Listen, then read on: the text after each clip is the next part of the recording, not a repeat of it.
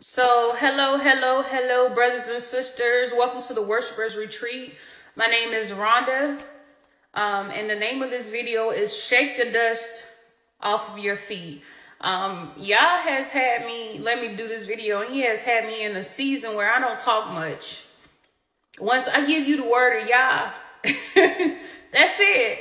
And, um, you know, normally I try to give people the explanation before, you know, um, Yah has me cut stuff off, but I he he hasn't been allowing me because we're in the end times, brothers and sisters. We're in perilous times, and even from a child, I was isolated, and he would he would teach me to not only enjoy his company, but to enjoy my own company, where I don't have to be around people like that. Um, I don't need validation from others. Thankfully, he gave me parents that instilled that in me.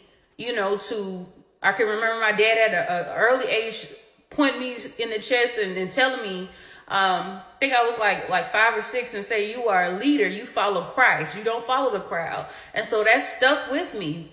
And so um, in this season, y'all was he was just he's been telling me shake the dust off. Um, a lot of times, um, cause he called me as a prophetess, you know, and I like I always tell people I am not big on titles. I'm not big on that. You just call me Rhonda. I'm good on that, okay?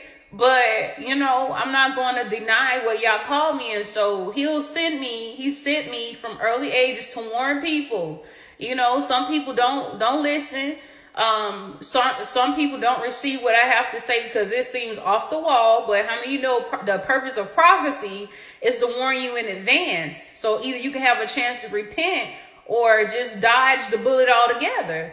And so, just as Christ told the disciples in Matthew 10 and 14, and he said, And whosoever shall not receive you, nor hear your words when ye depart out of that house or city, shake the dust off of your feet. Well, that's what, that's the season Yah has me in moving forward.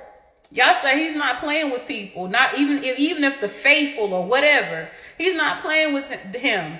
Christ told his disciples, said, they don't hear you, they're not hearing me. They're not hearing the one that sent you. And so you you have to start taking people's words serious when you know they have the Holy Spirit. Always check the spirit. But yeah, Christ is not gonna come down in the flesh no more. So he speaks through people. And he'll speak to you, speak through his spirit himself, but we gotta be mindful, brothers and sisters, because we gotta be on point. These are the end times.